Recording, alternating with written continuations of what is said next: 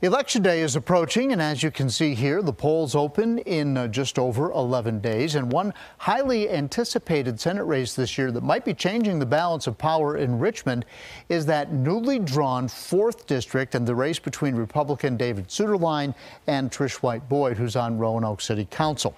10 News reporter Drew Carter spoke with the incumbent to find out his message to voters ahead of Decision 2023.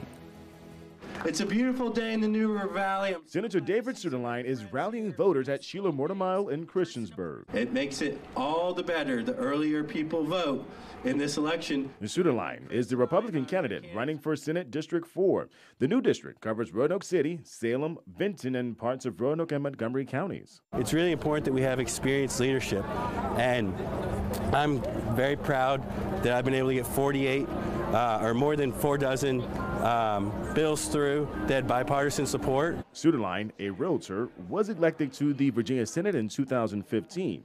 And while in the Senate, he's worked on better electric rates and tax relief for Virginians. I think it's important that we continue with tax relief. Um, income taxes have gone up um, significantly in part because of inflation, and it's important that we continue to enhance the standard deduction. Suetterlein has also pushed for more opportunities for students to succeed after graduating high school.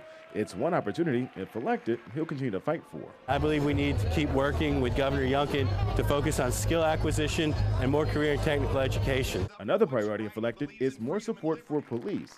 His main message to voters? I'm a conservative with a track record of being able to work uh, with people with a wide variety of views to deliver uh, for our area, both on public education, tax relief, and fair electric rates. Reporting, Drew Carter, 10 News, working for you.